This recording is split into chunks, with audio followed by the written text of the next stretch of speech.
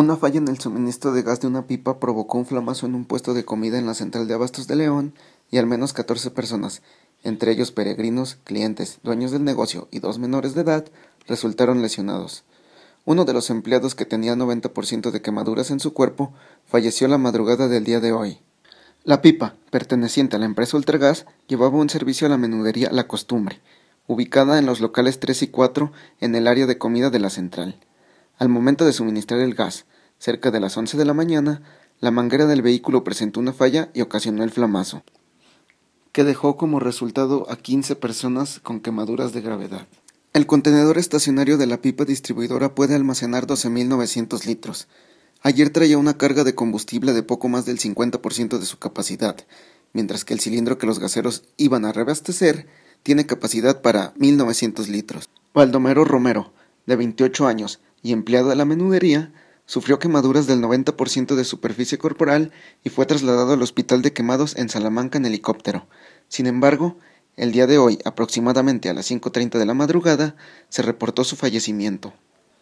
La Secretaría de Seguridad Pública de León informó que el empleado de Ultragas, Víctor, de 50 años, quedó detenido a fin de que declare ante el Ministerio Público. Con respecto al conductor de la pipa, identificado como Israel, de 38 años, se desconoce su paradero. Los 15 lesionados fueron atendidos por medio del sistema de urgencias del estado de Guanajuato y se realizaron tres traslados aéreos de pacientes con apoyo del helicóptero Tornado de las Fuerzas de Seguridad Pública del Estado y del helicóptero Halcón.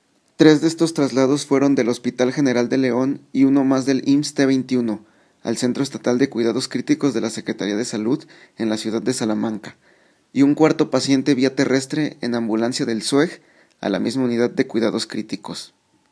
Los diez pacientes restantes fueron enviados en ambulancias al Hospital General de León e instituciones privadas médicas del municipio de León. Entre los lesionados se encuentran diez hombres y cinco mujeres, de los cuales cuatro son peregrinos originarios del municipio de Tlacomulco en el Estado de México y los demás son empleados y propietarios de la menudería. Al lugar acudieron peritos de la Procuraduría General de Justicia quienes comenzaron a levantar indicios para determinar la causa del accidente.